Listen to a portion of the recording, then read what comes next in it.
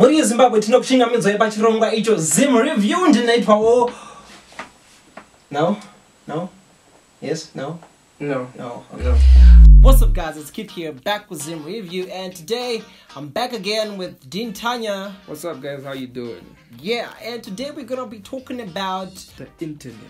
the internet. Internet. Internet. Tinoti tinoita nezveinternet nhasi internet nhasi. Masai Sai. Hope you guys are doing great. It's been a while since I uploaded and life, hey, life. So yeah, one of my first videos I was with this dude right here and we were talking about We were talking about fast food. some good as chicken, man. Some good as chicken. Yeah, We're fa- talking about fast yeah, fast food restaurants, your chicken in, blah blah blah. Check out the link again. And so today we're gonna be talking about not all the internet providers in Zimbabwe, but we're gonna be talking about the main internet providers in Zimbabwe, and that is Zol and Tell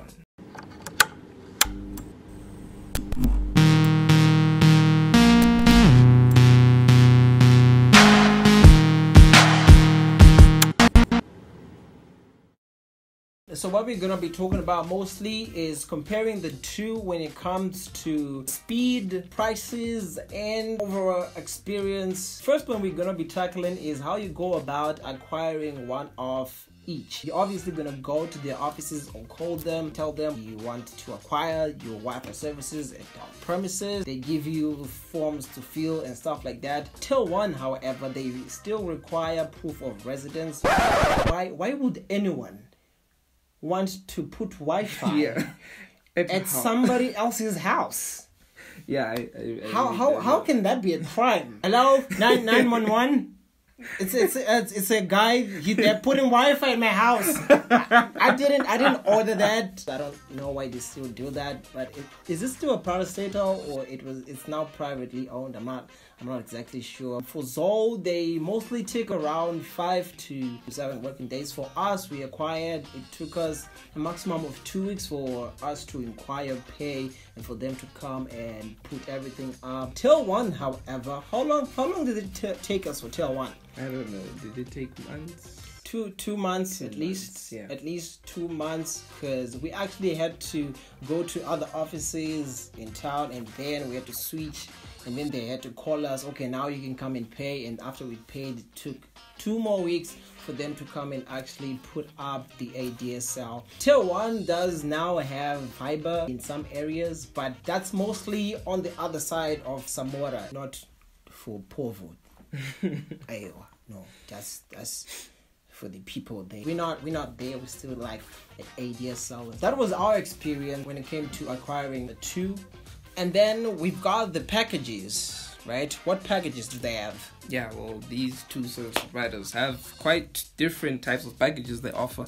And beginning with Zoll, their first package, the cheapest package, would be the $29 per month, which is for 25 gigs, and that goes for 5 megabytes per second in terms of speed. The second package goes for $39 for 35 gigabytes of data, also at 5 megabytes per second, and that's a per month basis. And the third package for the cap packages, which goes for $89 for 75 gigs of data, which goes at 10 megabytes per second in terms of speed. Actually, all these packages coming from Tel One and Zoll are all on a per month basis. There's no yearly payment or any of that. But Tel One also has these sub packages. They just call them sub packages that go for a day. They just call them sub packages. Sub packages. And for Tel One, the cheapest package goes for fifteen dollars, and you get eight gigabytes of data at two megabytes per second. Their second package goes for twenty-five dollars. You get thirty gigabytes of data, and that is three megabytes per second. Their third package goes for forty-two dollars. You get sixty gigabytes of data, and that is capped at five megabytes per second. And those are the cap packages for all these two providers. There's also the unlimited Unlimited? unlimited packages. They have a package which goes for one forty nine dollars and you get you know unlimited for the whole month, and that goes for twenty megabytes per second. Then there are also other packages. It's just for more speed, but the first one is already good as it is already at 20 megabytes per second. And then for Tel One, we have the Infinity Pro package, which goes for $89. You get unlimited at 5 megabits per second. Then they also have Intense, which goes for $120, and then you also get the same speed as Zoid 149, which is 20 megabytes per second, unlimited for a month. Those are the packages. As for the overall experience, what do you prefer?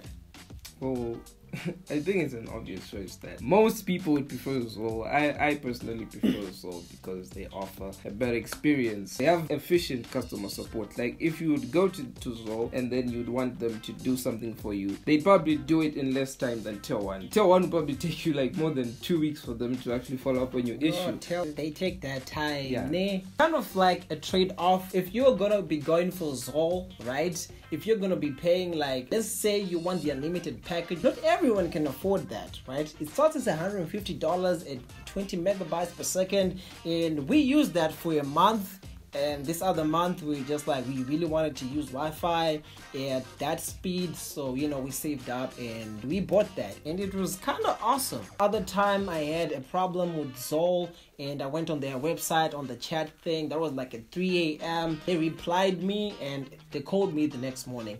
And my problem was probably solved in two two days time that was a problem to do with the night all bundles. I thought i was using them but then i wasn't using them. I was using my main account bundles. Their services are kind of more efficient as compared to tel one. When you go to tel one when you walk into their offices you expect hey welcome to tel one. How can we help you? You have these people talking nyas they just look at you like okay. But it goes again for the price because tel one is kind of cheaper. It's kind of a trade-off right? If you're not gonna be paying for this, there's a famous saying that my old boss told me. Cheap things are expensive. If you're gonna be going for Tel One, you're gonna be obviously paying less, which is more affordable, which is exactly what we want as Zimbabweans is affordable internet. And Tel One is kind of that go-to service provider for most people. If you're not willing to pay extra, you pay with your time. You opt for Tel One. That's basically my theory. That's our experience with um, Tel One and Zoll. Not trying to trash on Tel One or Zoll these are just our experiences and if you go on their facebook page if you go on their twitter i think tel one is probably one of the most trashed companies out there at this point they don't even care which way you gonna I think go I, I think the, the, the, they basically like when someone posts something about One being this bad service, they just basically put the same message to everyone. well, they're just kind of waiting, like, okay, when's the next person gonna come? They just copy paste send. Because you know what? What are you gonna do? You're not gonna move over and go to Zoll because they are freaking expensive, and you're not gonna go to any other service provider because you know they're just inefficient or they don't even offer the services. So yeah, this is kind of the dilemma that we are in as Zimbabweans. You know, you want good Wi-Fi, but it's freaking expensive. People aren't doing so well, and we are kind of in the information age where internet is a mandate at this point. So if you're gonna be going for Tel One, you're paying with your time and patience. you have to be patient. Very, very patient. Currently, we are using Tel One, and I don't want to lie. Sometimes it goes down for like five to ten minutes. Like what? Two to three times a week. If you can live through that, then yeah, Tel One is your service provider to go for. If you live on the other side of Samora and you know daddy gets paid, you can go for Zoll.